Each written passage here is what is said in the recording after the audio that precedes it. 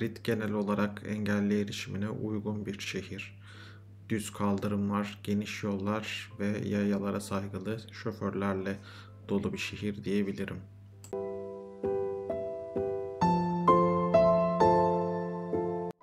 Madrid'de ne kadar süre kalmanız gerektiği tamamen ilgi alanlarınıza bağlı. İki günün yeterli olduğu söyleniyor fakat eğer müzeleri gezmek istiyorsanız bu mümkün değil. Bu süre yeterli olmayacaktır.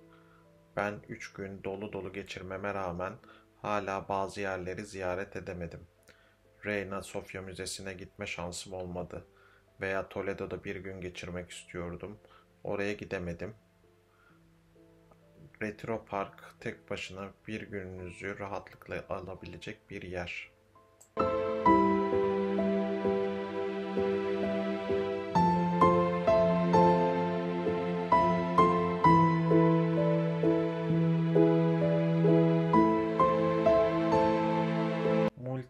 bilet yani multi tarhet aldığınızda metro ve otobüslerde geçerli.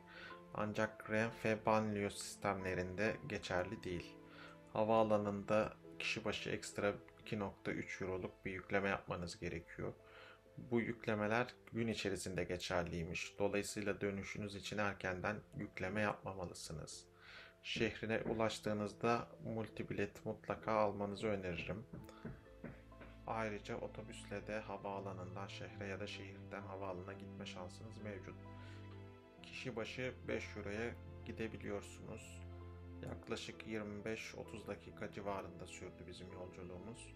Metrodan bile hızlı diyebilirim neredeyse. Erişebilirlik açısından Madrid'e gitmeden önce herkes bana metro ile her yere gidebileceğimi söylemişti. Metronun yaygın olduğu bir gerçek fakat engelliler için çok da geçerli bir durum değil.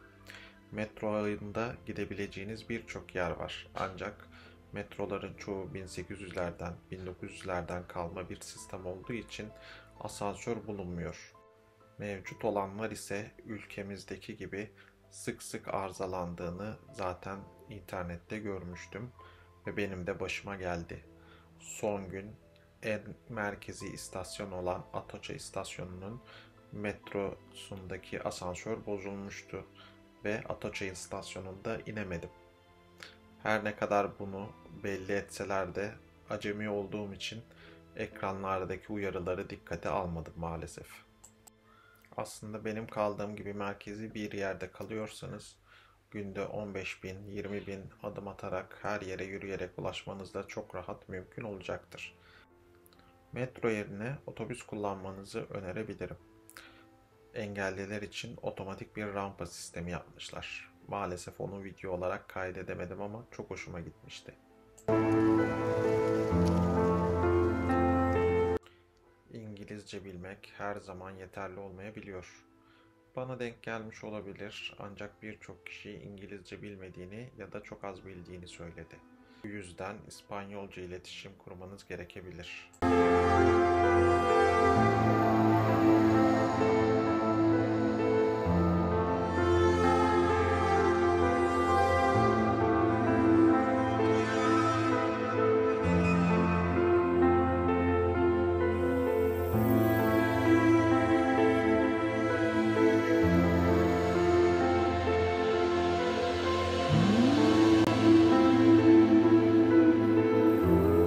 İnternette karşınıza çıkan birçok restoran önerisi maalesef abartılı olabiliyor. Örneğin La Campana'da kalamarlardan memnun kalmadım.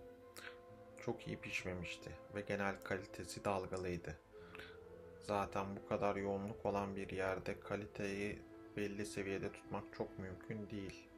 Bunun yerine ara sokaklarda farklı restoranlar keşfetmenizi öneririm.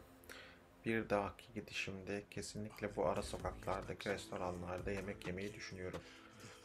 Özellikle son gece yürüyüş yaptığım Sol Meydanı'nın arka sokaklarında birçok restoran ve pub, bar tarzı yerler mevcut ve çok ilginç gözüküyorlar. Mutlaka oraları denemelisiniz. Aynı şekilde Plaza Mayor ve Sol'ün arasında kalan Cerveceria Sol Mayor restoranı kesinlikle öneririm. Daha yerel bir yere benziyor. Ve orada değişik bir kokoreç tattım. Bizim bildiğimiz kokoreçlerin sadece bağırsak kısmının bir çubuğa sarıldığını düşünün. İlginç bir tatlı ama bizim kokoreçin yanına yaklaşmaz tabii ki de.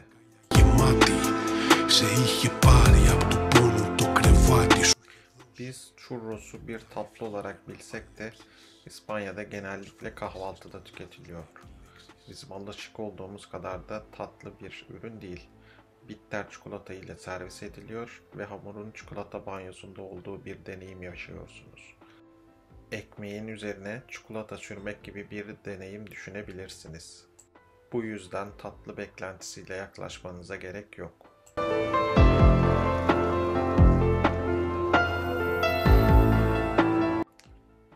İnternette Madrid'i araştırırken ilk denk geleceğiniz şeylerden biri biletlerinizi önceden almanız gerektiği. Eğer sıra beklemek istemiyorsanız mutlaka biletlerinizi önceden almalısınız. Eğer saatleriniz benim gibi net değilse biraz sıra bekleyerek de girebilirsiniz. Fakat önceden bilet almak sıra açısından inanılmaz kolaylık sağlıyor. Önceden sürekli kontrol etmeme rağmen Toledo tren biletleri gitmek istediğim gün tamamen dolmuştu. Bir gün öncesi veya iki gün sonrası tamamen boş, ertesi günü boş fakat benim istediğim gün doluydu. Bu da bana bir tecrübe oldu. Muhtemelen benim bilmediğim bir festival ya da farklı bir durum söz konusu. Yemeğinize bağlı olarak günlük kişi başı 50 euro civarında bir bütçe hazırlayabilirsiniz. Eğer kokteyllere meraklıysanız bu bütçeyi biraz daha arttırmanız gerekecek.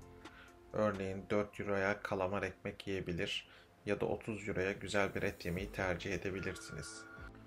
Günün menüleri ise genellikle 15-20 euro arasında değişiyor ve bu fiyatları içecek, ana yemek ve tatlı dahil oluyor.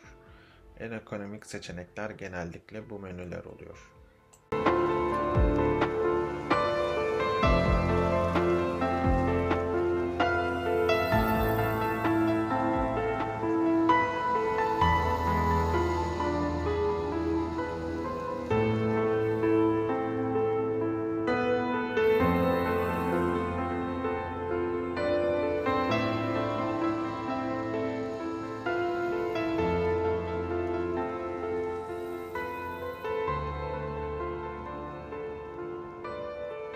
Varsa sorularınız yorumlara yazabilirsiniz. Elimden geldiğince cevaplayacağım.